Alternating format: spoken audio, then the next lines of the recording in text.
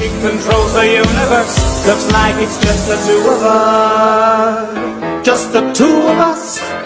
In this classroom in the sky, crimes of passion are just fine when enacted on AI. Just the two of us. Quite a drastic pickup line, leaving characters to die, just to guarantee your mind.